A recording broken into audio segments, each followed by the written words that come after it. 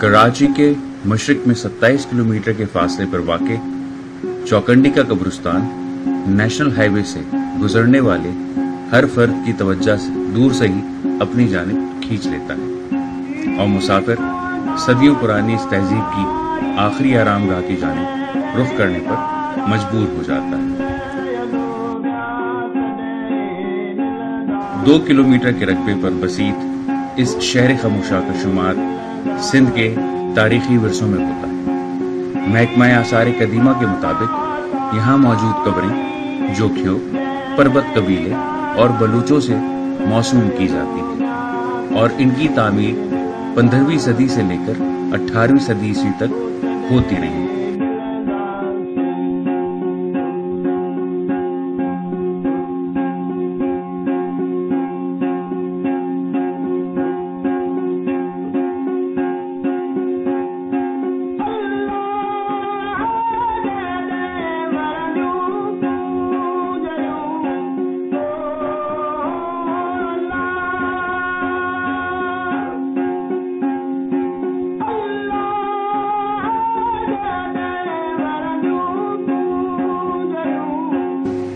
یہ قبریں اپنی شمال اور جنوبی رخ پہ بناوٹ کی وجہ سے اہمیت کی حامل ہیں۔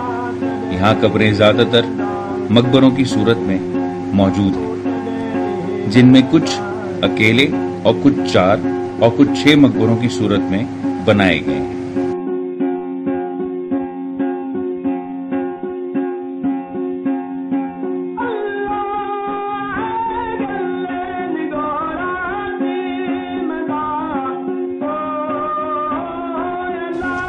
یہاں مقبروں میں موجود قبروں میں ایک ہی خاندان کے افراد مدفون ہیں۔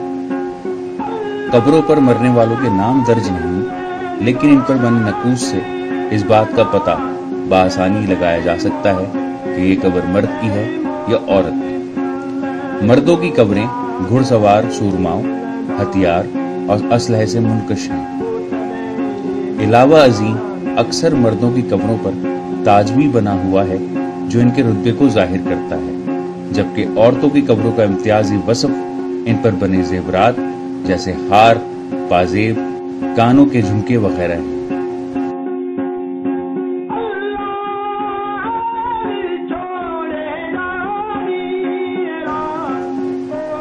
نقش و نگار سے مزین۔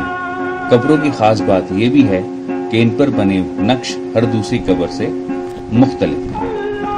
بیشتر قبروں پر جیومیٹریکل شیڈ بھی بنے ہوئے ہیں، جبکہ کچھ پر قرآن آیات بھی نقش کی گئی ہیں۔ جو اس بات کا اظہار ہے کہ عظمت رفتہ کی شاگاری قبریں مسلمانوں کے ہاتھوں کی بنی ہوئی ہیں۔ کراچی کے چاروں طرف بہت سے ایسے مقامات موجود ہیں جو سندھ صوبے کے انتہائی قدیم ہونے کا پتہ دیتے ہیں۔ ان میں سے ایک چوکنڈی کا قبرستان ہے۔